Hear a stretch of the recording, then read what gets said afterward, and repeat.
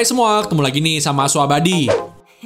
Televisi zaman sekarang itu sudah pada canggih-canggih banget.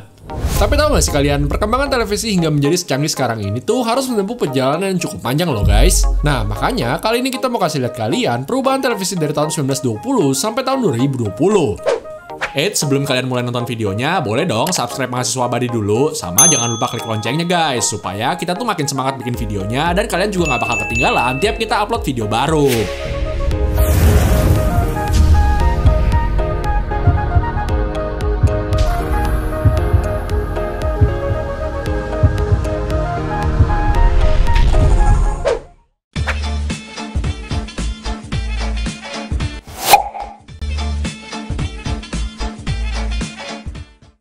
Televisi pertama kali rilis pada tahun 1920-an dengan nama Bert Model B. Teknologi yang dipakai pada televisi ini tuh kelihatannya simpel banget, tapi pada zamannya tuh teknologinya adalah yang terbaik nih guys. Namun, hasil gambar dari televisi tersebut tuh masih jelek kayak begini nih.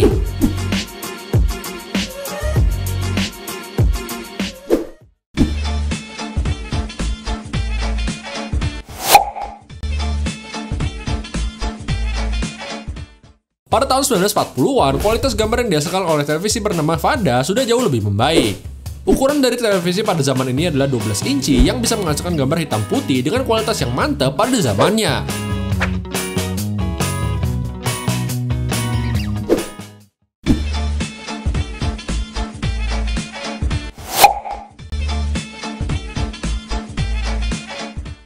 Televisi yang populer pada zaman ini adalah Zenith Aldrich yang memiliki bentuk unik begini nih guys. Kemudian ada juga TV bernama Raytheon Rover yang bentuknya itu nggak kalah unik loh.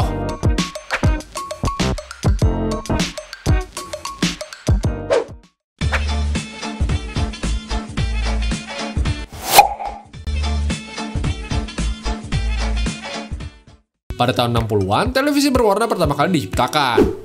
Akan tetapi, warnanya itu masih belum terlalu bagus gitu guys.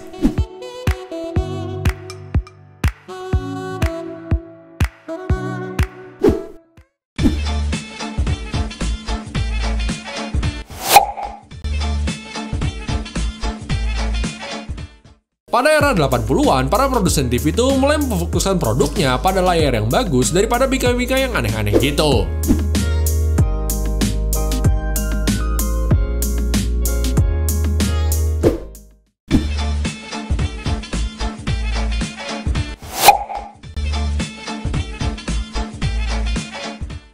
Pada tahun 90-an, banyak sekali televisi yang dijual sepaket dengan radio dan pemutar VCR seperti ini.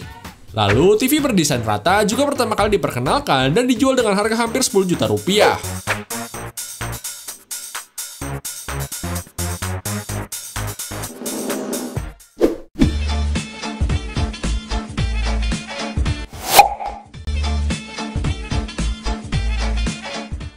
Pada tahun 2000-an, televisi dengan layar rata mulai populer dan harganya lebih terjangkau. Lalu, TV plasma pada tahun 2000-an mulai populer dan harganya lebih mahal dibandingkan dengan TV pada umumnya tetapi menawarkan hasil gambar yang lebih baik.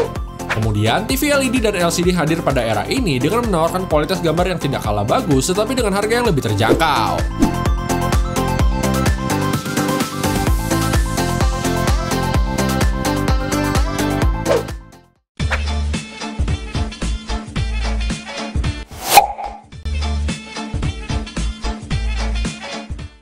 Pada era 2010-an, Smart TV mulai dipopulerkan, tetapi masih ada beberapa yang memiliki harga sangat mahal.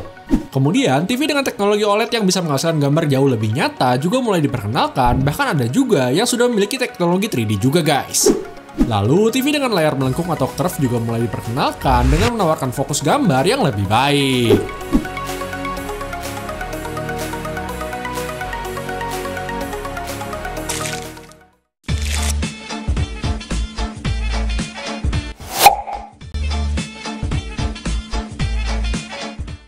Pada masa depan, LG berencana untuk mengeluarkan TV dua sisi yang layarnya itu ada di depan belakang gini nih guys. Kemudian, Panasonic juga berencana mengeluarkan TV transparan yang layarnya itu bisa dijadikan kaca lemari pajangan gini nih.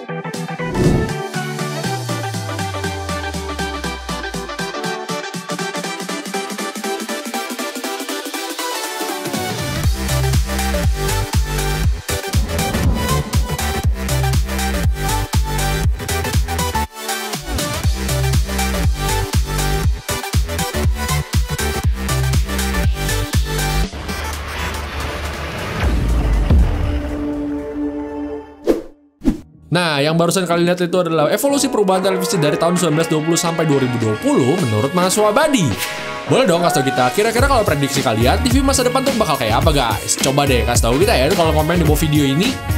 Gak lupa juga kita mau ngucapin terima kasih banyak buat kalian yang masih nonton sampai detik ini. Jangan lupa juga buat support channel ini dengan subscribe, like, dan share video ini kalau kalian merasa terhibur ya.